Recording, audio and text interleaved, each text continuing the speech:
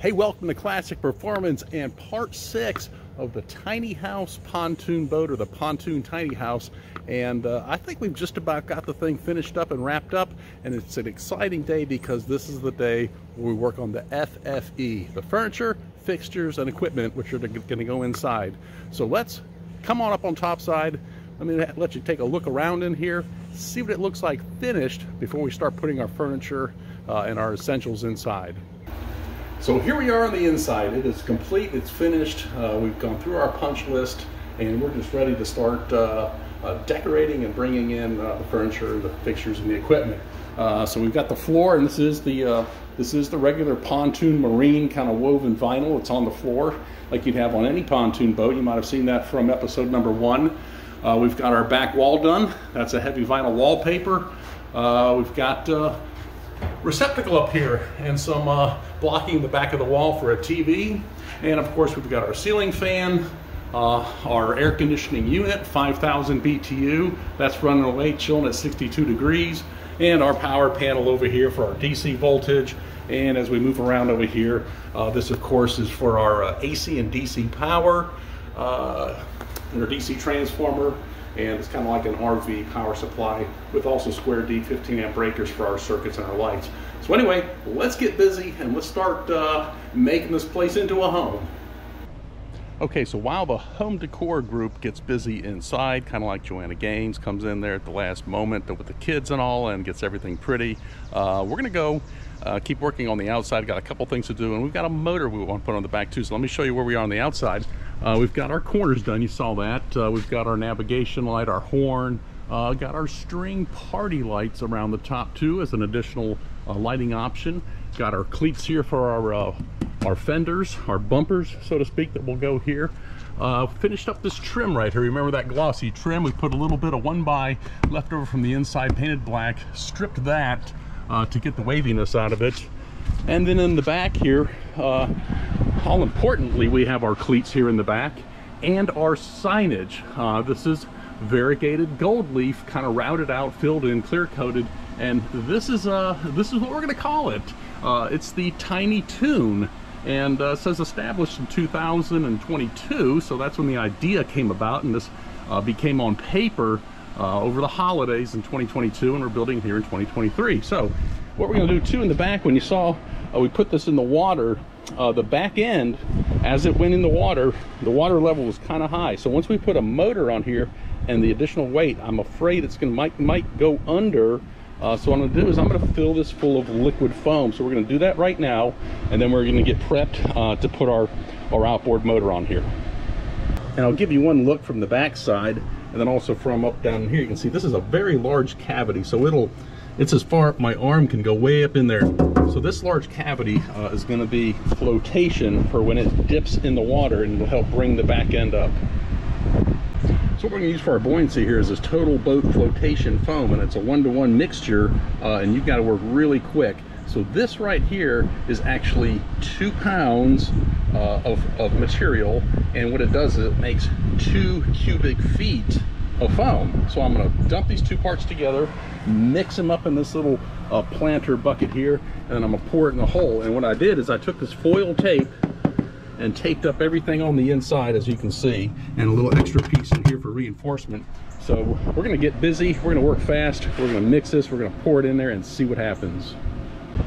All right, so we poured our foam in the hole. Uh, that was the total contents of it, those two canisters, and you can see the foam is is rising right now. So uh, we're going to see how far it rises and we can see how fast it's coming up. You can actually see it moving there. So she's still continuing to rise almost at the top. I put the front of the boat down to try to move some of it towards the front.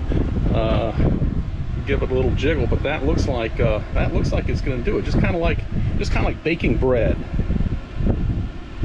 So I measured two cubic feet, and just in a matter of minutes, foam as hard as the rock so it worked out just perfect just came up just to the top of the uh, of the deck band and uh, we're good to go and that's going to provide some nice flotation uh, all the way up on this big uh, this big uh, unit right here so one of the important thing, we've got to have our number plates. We've got our number plates on here. We riveted uh, those metal plates there, 40 thousandths aluminum. Got our stickers, and on the back, we've got our outboard motor installed. Uh, so we've got engine on the back, and uh, so we're, we're perfectly outfitted uh, to hit the water. And today is going to be launch day. So we're going to launch the boat, and then when we do that, we'll get it tied up on the dock, and we'll give you the full reveal of the inside. So come on, let's go launch the boat. Turn's coming up. Oh, yeah. No problem. It's hard to hold, baby. We're going to just let it go all the way out. Oh, almost. Give it one last shove. Yep, one more time.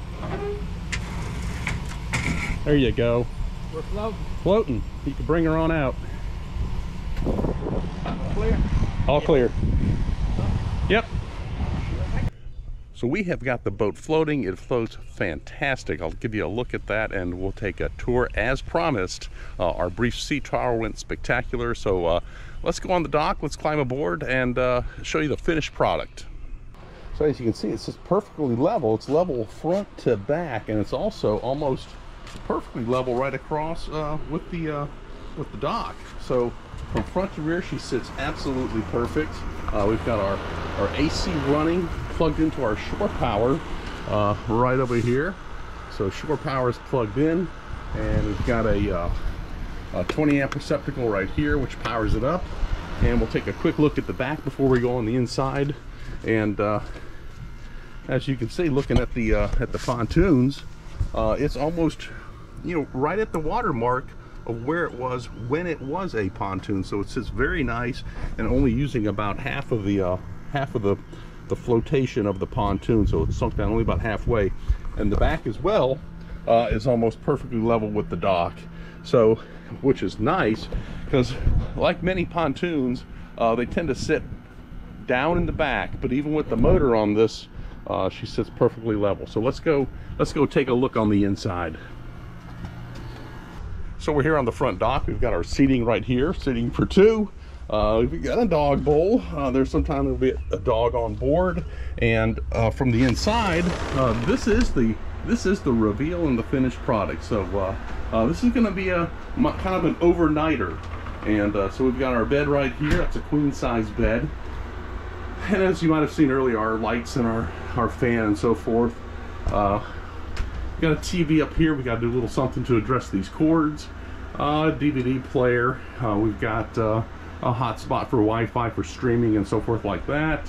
Uh, here's some of your towels, uh, a laundry bin, storage here for your life jackets and uh, other things like that, throwable cushion, uh, fire extinguisher and so forth. Um, we've got a little storage area or a dog crate down here, uh, cups and and so forth that are that are velcroed. Kind of hard to get up, but they're velcroed, so they stay they stay put. Uh, a couple other little things here. Got a small refrigerator uh, that will stock with some water and so forth. Coffee maker, and of course our air conditioning set on 67 degrees. And around the front side, we've got some blackout curtains. So we can pull these curtains right here, uh, and they are very effective.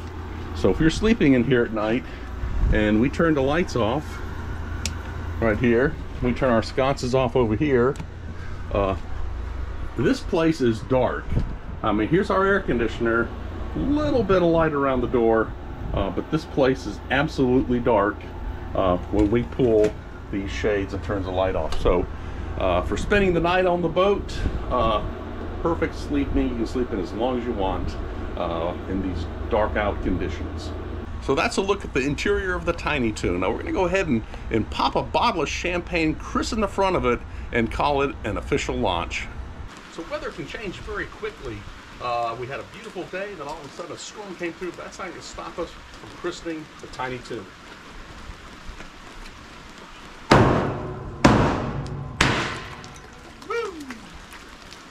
That's how you do it, right there.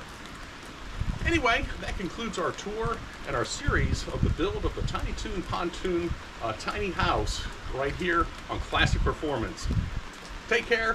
Have yourself a great day.